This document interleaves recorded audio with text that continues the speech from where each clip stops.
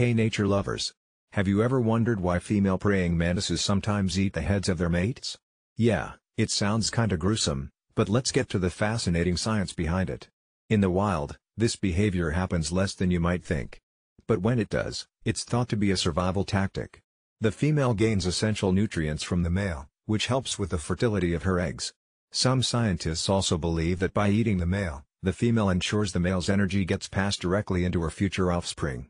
So, while it may seem harsh, it's all about making sure their young have the best start in life. Nature is wild, isn't it?